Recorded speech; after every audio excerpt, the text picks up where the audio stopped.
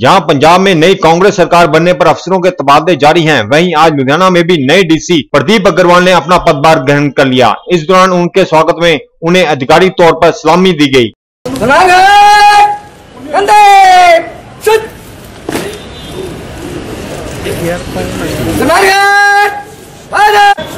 आपके को हाजिर है।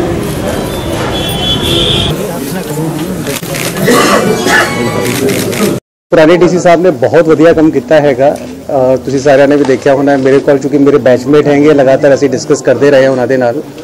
ਹੀ has done a marvellous job ਬਹੁਤ ਸਾਰੇ ਹਰ ਇੱਕ ਸੈਕਟਰ ਵਾਸਤੇ ਐਜੂਕੇਸ਼ਨ ਵਾਸਤੇ ਹੈਲਥ ਵਾਸਤੇ ਰੈਵਨਿਊ ਵਾਸਤੇ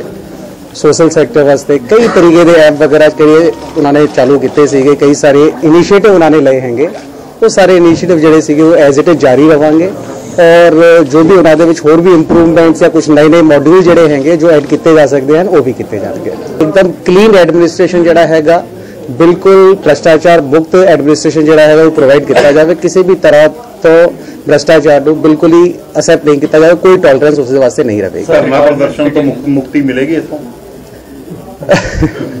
it's a very wise question we will try ਕਿ ਲੋਕ ਜਿਹੜੇ ਹੈਗੇ ਉਹਨਾਂ ਦੀ ਡਿਮਾਂਡ ਜਿਹੜੀਆਂ ਹੈਗੀਆਂ ਉਹ ਪੂਰੀਆਂ ਹੋਣ ਅਹ ਜੋ ਵੀ ਨੋਟੀਫਾਈ ਕੀਤੇ ਗਏ ਸਰਕਾਰ ਵੱਲੋਂ ਕਿ ਇਹ ਵਾਲੀ ਥਾਵਾਂ ਜਿਹੜੀਆਂ ਹੈਗੀਆਂ ਉੱਤੇ ਹੀ ਧਰਨਾ ਪ੍ਰਦਰਸ਼ਨ ਲੱਗ ਸਕਦੇ ਹਨ ਵੀ ਵਿਲ ਟਰਾਈ ਕਿ ਉੱਤੇ ਹੀ ਧਰਨਾ ਪ੍ਰਦਰਸ਼ਨ ਲੱਗੇ ਸਿਸਟਮ ਜਿਹੜਾ ਹੈਗਾ ਪਿਛਲੇ 2.5 ਸਾਲ ਚ ਕਾਫੀ ਬਦਲ ਗਿਆ ਹੈਗਾ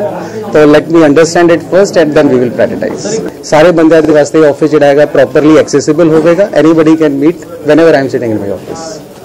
Ludhiana से जागती लाइव के लिए बलराज खन्ना की रिपोर्ट